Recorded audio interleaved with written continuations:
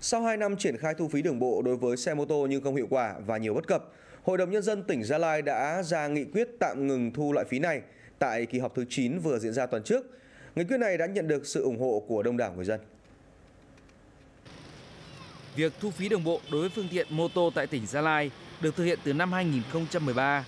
Mức thu là 50.000 đồng đối với mô tô có dung tích xi lanh dưới 100 mét khối, 100.000 đồng đối với mô tô có dung tích xi lanh là trên 100 mét khối.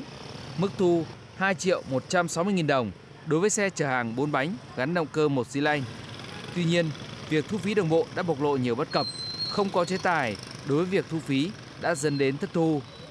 Tính đến tháng 3 năm ngoái, toàn tỉnh chỉ thu được 6,5 tỷ đồng, trong khi kế hoạch dự kiến là hơn 35,7 tỷ đồng. Bên cạnh đó, người đóng, người không đóng nhưng không có sự kiểm tra, kiểm soát dẫn đến sự không công bằng, gây bất bình trong người dân. Thấy cái này thì nó cũng bất cập thứ nhất là nó làm không có đồng đều được.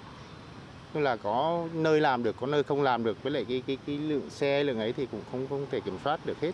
Thành ra nó cũng cũng bất cập. Có người đóng người không rồi là năm 2014 và năm 2015, nhiều đơn vị chỉ thu được dưới 10% kế hoạch mà không có cách nào để vận động người dân đóng tiền.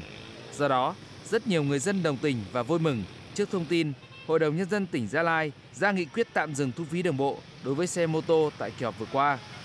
Người dân mình chủ yếu là đi xe máy á, là để là vì mưu sinh cái cuộc sống thôi.